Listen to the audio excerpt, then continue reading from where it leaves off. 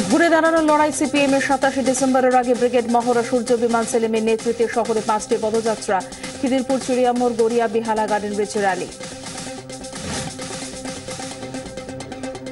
ছুটির দিন ব্রিগেড মহড়ায় বামেরা সাতাশে ডিসেম্বরের প্রচারে কর্মসূচি পদযাত্রা শীর্ষস্থানীয় নেতারাও।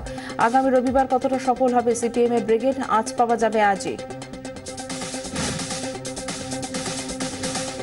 নির্ভয়া কাণ্ডে নাবালক ধর্ষকের মুক্তি রুখতে মরিয়া দিল্লি মহিলা কমিশন।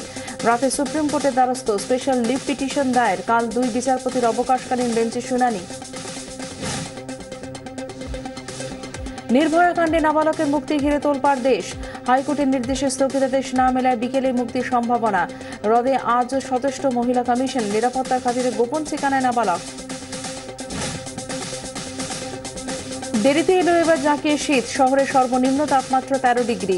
স্বাভাবিকের থেকে এক ডিগ্রি কম, জানিয়েছে আবহাওয়া দপ্তর। ঠান্ডার কবলে উত্তরবঙ্গ, উত্তর ভারতে শৈত্যপ্রবাহ।